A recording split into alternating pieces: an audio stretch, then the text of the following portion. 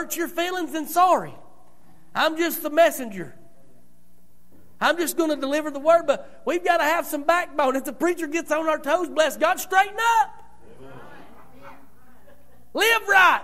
Amen. Do the right thing. Make the right choices. Get in your Bible. Read, pray, seek God. Do all those things. Don't get mad at Him. Don't get mad at me. Don't get mad at Gillis because he says you're not supposed to be doing that. Uh, the Bible says, let no filthy communication come out of your mouth. If you're talking nasty, quit. Amen. Don't get mad at him. Don't get mad at me. If you're using foul language, the Bible says not to let filthy communication come out of your mouth, so don't do it. That's not Gillis, that's Bible. Amen.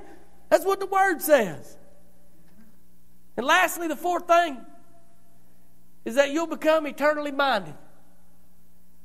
Eternally minded. When you get free, you'll not worry about temporary things. Brother Gillis, I, I, I, I don't live in a great big house. I don't, you know, I know that I, I, I don't worry about that. Because the Bible tells me what? I've got a mansion. He's been building something for me for a long, long time, Gillis. This world, this world can't hold a light. The BFI guy over in Little City's got that big house with a fence around it. He ain't got nothing on my mansion in glory. Amen. That, that, uh, them got all them people that got them big fancy houses down here on earth, they ain't got nothing in comparison to what has been laid out. It said that eyes have never seen, and that it's never even entered into the hearts of man. What's been stored up and laid up for us in heaven. Amen. Said it's, I, I, I, I try to fathom that because I see some pretty pictures of some pretty places in the world. And I'm like, man, God, that's what, that's what it's going to look like outside my house in heaven. He said, No. He said, Because I have never seen it's never even entered into the hearts of man. He said, What I've laid up for you.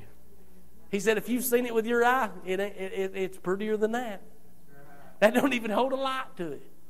That big old steel glass lake you you seen Gillis, you talking about how pretty and calm it is. You imagine what the crystal sea looks like, huh? I mean, you ain't you ain't never seen. I, you, I, it probably looks like it probably is a reflection, a, a perfect reflection of everything around it. I can imagine, maybe, I don't know. Walls of jasper, gates of pearl. I, I can't imagine that. Walls of jasper, gates of pearl, streets paved with gold. Eternally minded.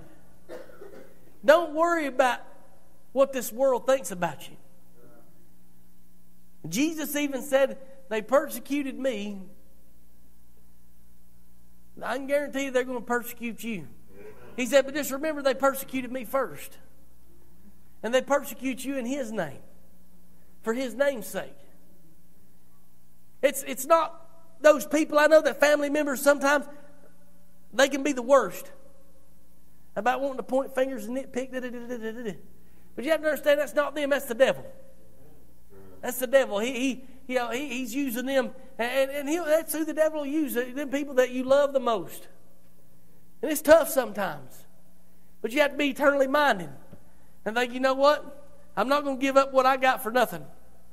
I'm not going to give up. There ain't nothing in this world that could ever compare to what, what I have in heaven. Nothing. There, there's not anything that would amount to what I have in heaven. There's no comparison. I have to see if I can find that other scripture that I was looking for. Give me just a second. Galatians 5 and 1. He said, Stand fast Therefore, in the liberty wherewith Christ hath made you free, and be not entangled again with the yoke of bondage.